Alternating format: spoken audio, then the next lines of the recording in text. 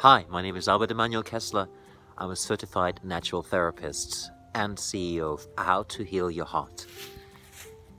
Even though it might be cold in the outside sometimes in your life, you can find warmth, strength, and vitality within. Sometimes accepting the cold and working with, with it in your body can already be the necessary tool that creates that wonderful, healthy heart.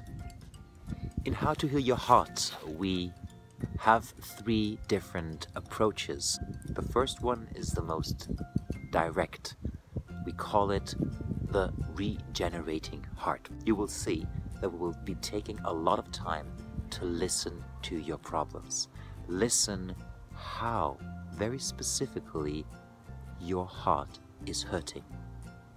That very well can also be a physical disease, illness, or wound. The pain directs the way into the healing. The symptom, in its detail, already describes how the medicine is going to work.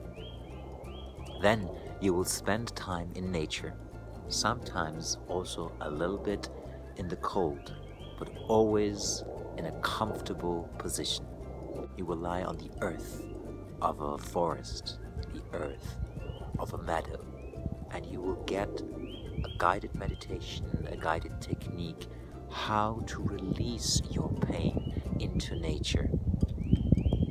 After these two steps, mm, in many cases, almost 50% of your load will be cleared. Then we will go into the warmth. We will be cooking an organic, biological, healthy meal, ideally together. Enjoy it, and then give you a manual treatment. Something between pressure point massage and Reiki. By that, you will be regenerating most of your low batteries.